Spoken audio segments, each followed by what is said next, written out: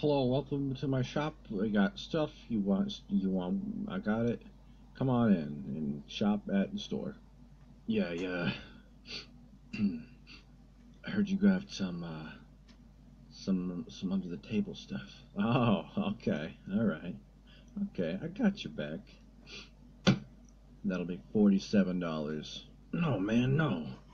Somebody told me that, uh, that you got, you got poison here. I need poison. Okay, okay.